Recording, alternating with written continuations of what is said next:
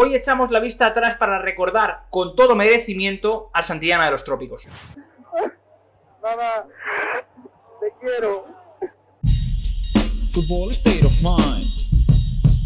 Football State of Mind. ¿Qué hay mi gente? Soy Roberto Benito y bienvenidos a un nuevo vídeo de Estado Mental Fútbol. Hoy venimos a rendir homenaje a la figura más importante del fútbol panameño, Romel Fernández, un delantero cuya carrera transcurrió completamente en España hasta ese fatídico mayo del 93 cuando perdió la vida en un accidente de tráfico. Traigo una colaboración muy especial de Julio Chevelin, un panameño, un comunicador brutal que nos va a comentar cómo se vivió aquel día. Va a completar este vídeo en el que vamos a traer 5 cosas que no recuerdas y te va a gustar recordar de Romel Fernández. Como siempre digo, lo primero que hay que saber de cualquier persona son sus orígenes. Y Romel Fernández nació en 1966 en el corregimiento del Chorrillo, en Panamá. Comenzó a dar sus primeras patadas en el club Plaza Amador, hasta que con 15 años le fichó el Atlético Panamá para ya sí desarrollarse más futbolísticamente y posteriormente dio el salto al Alianza antes de empezar a despegar en el mundo del fútbol. Lo segundo que tienes que saber de Romel es que el mundialito de la emigración que se jugaba a finales del siglo XX le cambió la vida.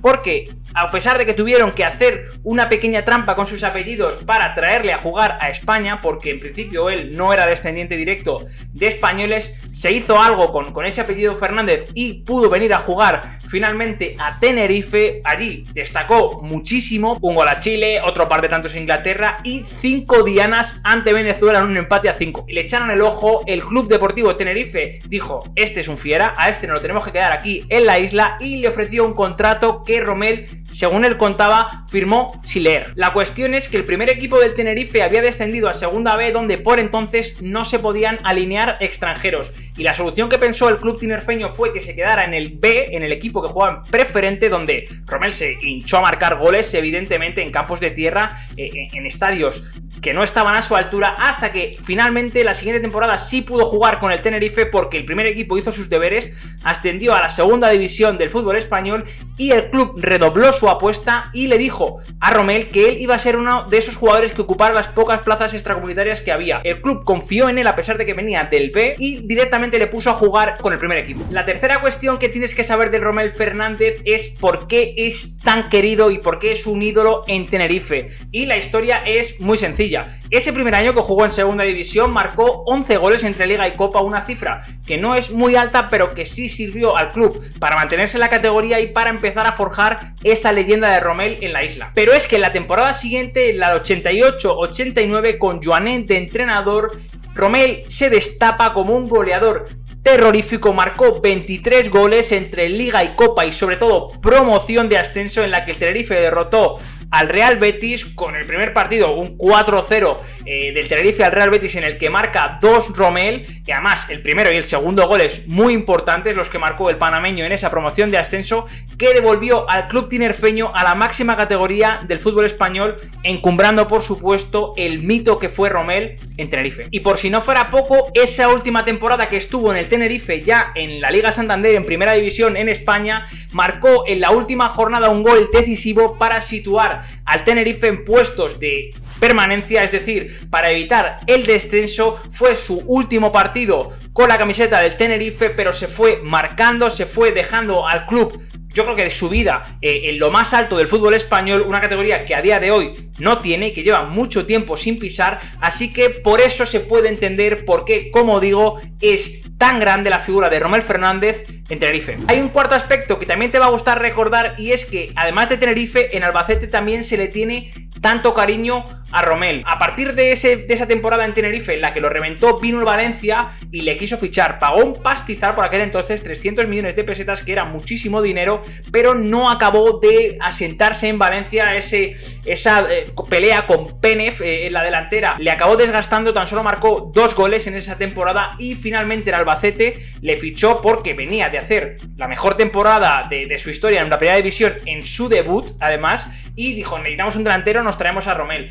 Allí estaba comenzando a recobrar eh, el gol, Romel em, estaba volviendo a sentirse importante como siempre, con cabezazos, con juego aéreo, ya sabéis, esta clase de jugador que era Romel, un delantero muy potente, muy agresivo, que, en esos balones divididos era, era, era muy, muy, muy difícil eh, de parar y era un terror para las defensas. Y fue una mañana de mayo del 93, después de entrenar, se fue a comer con el resto de sus compañeros y cuando estaban volviendo eh, tuvo un accidente fatídico, iba con su primo, el primo no, no, no, salió indemne del accidente, tan solo tuvo alguna lesión ósea, pero el que perdió la vida fue Romel Fernández de una manera trágica y sobre todo prematura porque todavía tenía mucho que aportar al mundo del fútbol y a la comunidad de Panamá. Esta noticia evidentemente fue terrible para Albacete, para Tenerife y sobre todo para Panamá para toda la gente que le quería en su tierra natal y quién mejor que un comunicador brutal como Julio Sebelut para rememorar lo que fue aquel día en el país centroamericano. Impactante, dolorosa, una noticia que paralizó todo el país. Un 6 de mayo de 1993,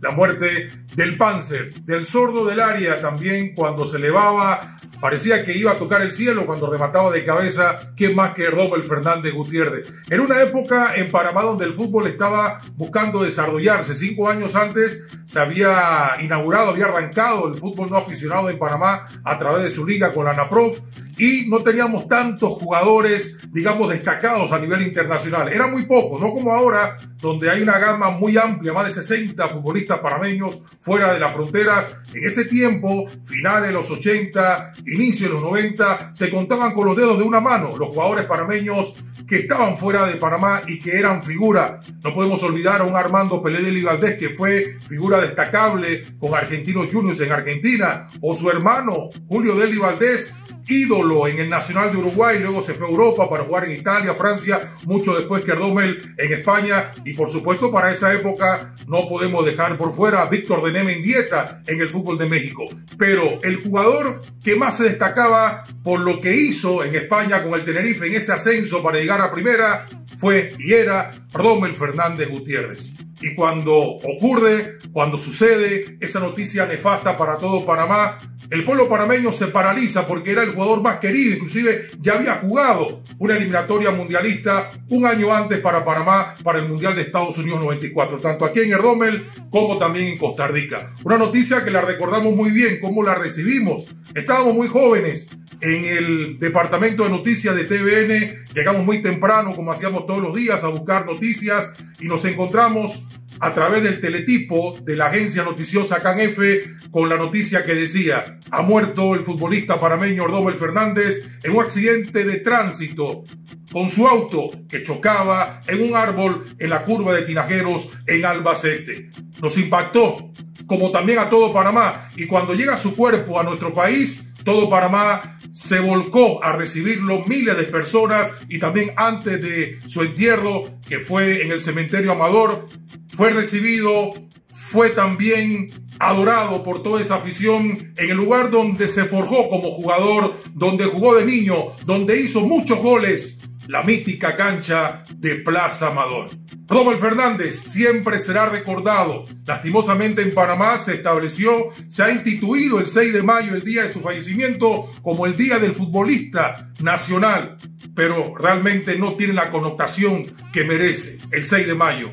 Día que fallece Erdombel Fernández, un tremendo jugador, pero también una gran persona, con un tremendo carisma. Inclusive, para muchos tenía perfil para ser presidente de la República de Panamá. Ese era Erdombel Fernández, ídolo en Tenerife, adorado por toda la afición tinerfeña y en Panamá también se le recuerda siempre como ese gran jugador que fue. El Panzer, Rommel Fernández Gutiérrez. Y en quinto lugar, y para levantarnos a todos el ánimo, porque además creo que Romel lo querría así, vernos felices en torno al fútbol y sobre todo en torno a la salsa, porque era un gran sonero Romel Fernández. De hecho, está esta foto para la historia porque en su última visita al Heliodoro, con la camiseta del Albacete, estaba Celia Cruz y le rindieron un homenaje donde se sacaron fotos juntos, se rieron, disfrutaron. Eh, eh, era un gran salsero, como digo. Eh, Romel Fernández también le gustaba mucho, aquí lo veis, Rubén Blades, es decir, se juntaba con los mejores compositores de salsa. Y tengo que decir que en este canal somos muy salseros también, así que es otra razón más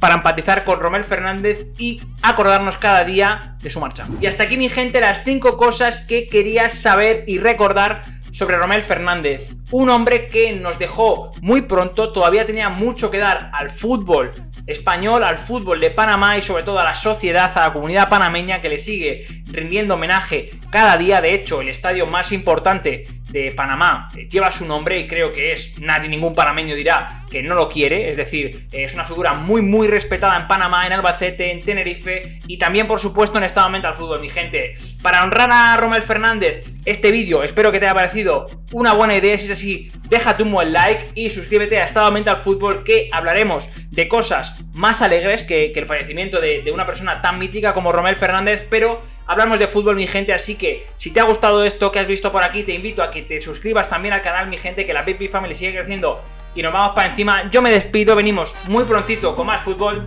Seguimos.